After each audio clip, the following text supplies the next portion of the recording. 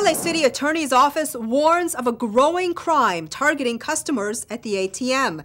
Gil Reyes has more on what's being called shoulder surfing. Gil.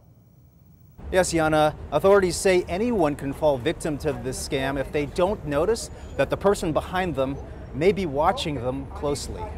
Beware when retrieving cash from the ATM.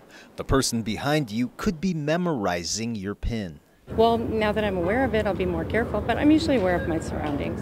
Here's the tricky part. Even after leaving with your money and debit card, certain ATMs, like Bank of America's, keep you logged onto the computer system for several seconds, unless you log out. Crooks can swoop in and steal your money by entering the PIN they memorized while looking over your shoulder. And the victim doesn't even know it happened until it's too late.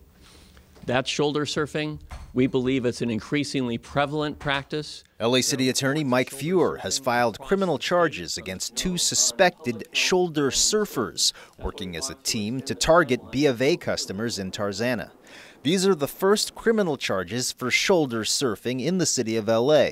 But authorities say similar crimes have occurred in Hawthorne and other parts of our region. This is among the most important tips wait until the transaction is finished and you have logged out before you leave that ATM. For Bank of America customers, that means always hitting the No I'm Finished icon before leaving. This will log you out.